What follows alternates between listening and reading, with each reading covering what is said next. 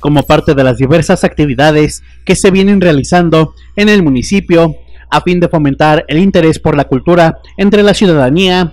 El gobierno municipal de Tezontepec de Aldama, que encabeza el alcalde Santiago Hernández Herón, en coordinación con la Dirección de Cultura, invitan a la población en general a visitar la exposición Escarlata, que presenta el artista Santiago Bisuet, la cual estará exhibida para el deleite de las y los tesontepenses por unos días en las instalaciones de la Casa de la Cultura. Cabe mencionar que durante su estadía en el recinto cultural se estarán siguiendo debidamente los protocolos de salud. Hola, eh, mi nombre es eh, Daniel Santiago Bisuet, eh, mejor conocido como Santiago Bisuet.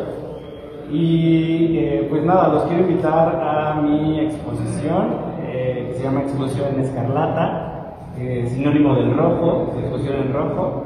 Y pues nada, en esta situación pandémica, la idea de esta exposición es que ustedes la puedan apreciar desde el exterior. Entonces, eh, los invito a que vengan a la Casa de la Cultura eh, sin arriesgar la salud, eh, sin tener contacto con otra persona y puedan ver la exposición desde fuera. se puedan asomar desde los ventanales. Entonces me gustaría que eh, visitaran la exposición y pues nada, apoyen el arte local, hay muchos artistas en Centropec, yo soy uno y pues nada, eh, eh, está abierta la invitación y espero que puedan asistir. Muchísimas gracias.